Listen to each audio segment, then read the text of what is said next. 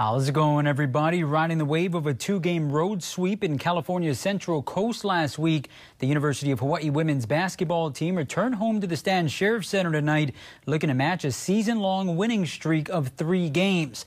Head coach Laura Beeman and the Lady Bows played host to UC Riverside, where uncharacteristically UH struggled on their home court, having gone four and six under the Big H prior to this evening, and the Highlanders added traction to that trend, led behind Jannon Otto, who was automatic, going for 22 points for a second straight game.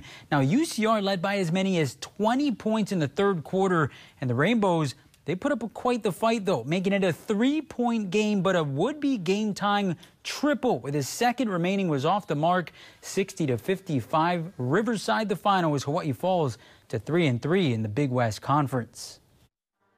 You know, the one thing that I know being here seven years now is what the fans want to see is fight. They, they want to see a team that steps up. They have some pride in what we're doing.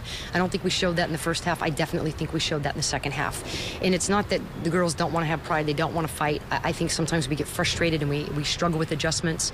Uh, Riverside length affected us a lot, particularly in that first quarter, getting used to it. Um, and we dug ourselves a big hole. But I'm incredibly proud of the way they came back in the second half, particularly the fourth quarter. We fight. We turned them over. Um, or we showed good good fight. We turned them over. Um, we left nine points on the board at free throws, and, and that's uh, going to be an ouch when we talk about that in the locker room because we've been a good free throw shooting team, and, and that's an area where you have to hit free throws, particularly at home. Now in defeat for the Rainbows, Leah Salanoa had a team high 17 points, but the Bows now 7 and 12 on the year. They'll look to respond Saturday against Cal Poly.